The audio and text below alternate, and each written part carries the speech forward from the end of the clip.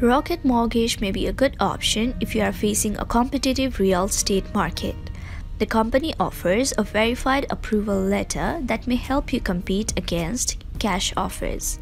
It also offers a choice of loan repayment terms in a broad range but fewer loan options than some other lenders. Hello everyone, I hope you all are having an amazing time. Today I'm back with another tutorial video and in this video I'll be guiding you guys through the steps of creating an account in Rocket Mortgage. So let's get started and find out how that can be done. First of all, open the app Rocket Mortgage.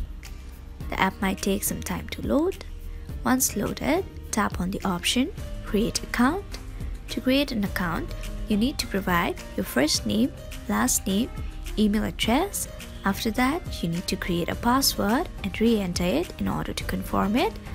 Once you do all of these, tap on continue.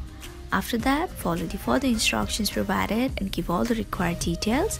Finally, you'll be able to create an account in Rocket Mortgage. So, we have come to the end of the video.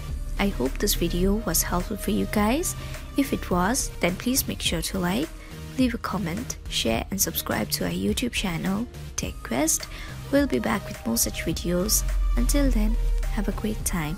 Bye bye.